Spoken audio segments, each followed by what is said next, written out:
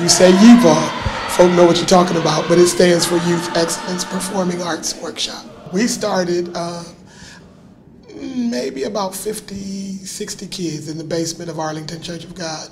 It was just in the evening, it wasn't an all day program, but I just felt like I needed to do more. It just wasn't enough. Um, uh, and I just honestly started because, like I, our kids get a pretty bad rap.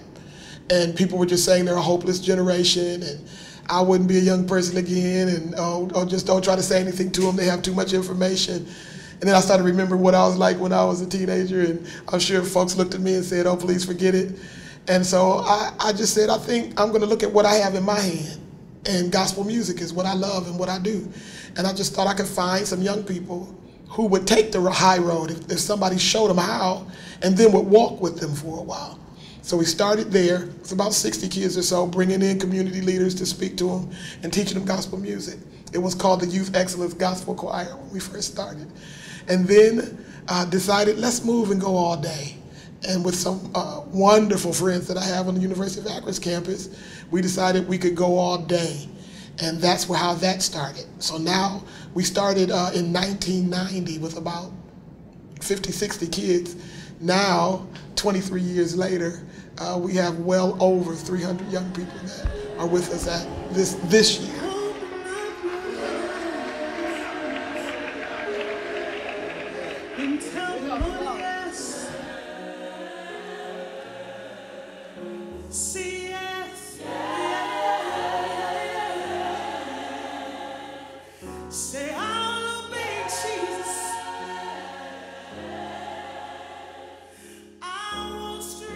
My hope is that they will realize that excellence is intentional, it's purposed, and it's planned.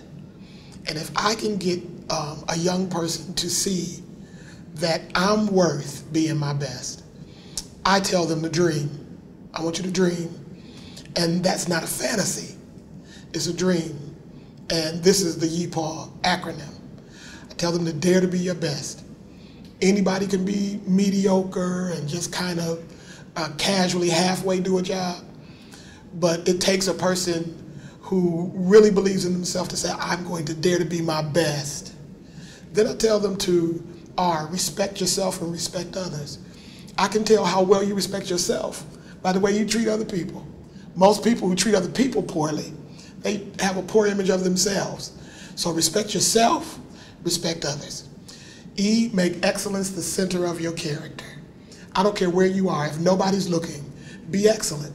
That's character. When nobody's watching, I'm still my best no matter where I am. And then A, attitude is everything. You can be the cutest thing in the room, and that little ugly attitude will shut the door of opportunity. But you can walk in and maybe not be the sharpest knife in the drawer. You may not really be the best one in the room, but come in telling me I want to be the best one in the room.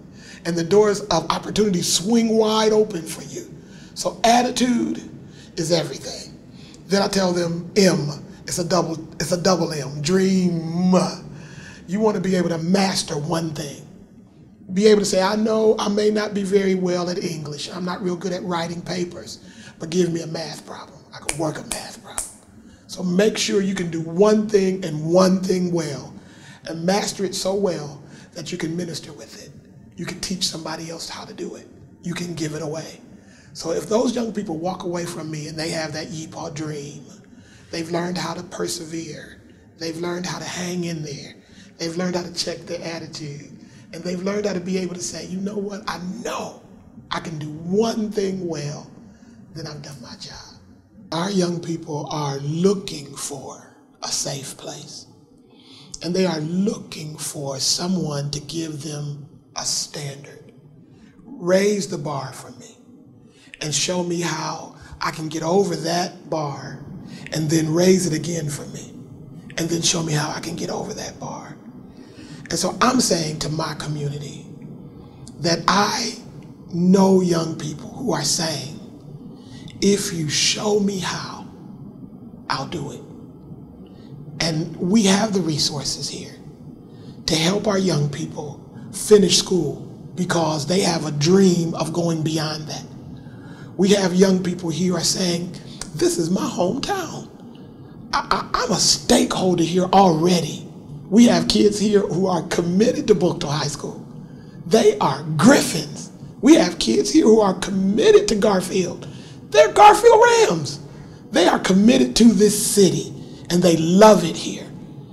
And I want to show them parts of the city that many of them will have never seen. Some of them have never walked across the University of Akron's campus. I got them staying in the dorm there at 14, expecting to go to school here.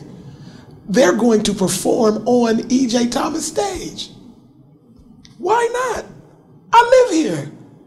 And so I want to say to this community, we have wonderful, phenomenal young people who just need a chance to soar. And so I want to set their trajectory to soar.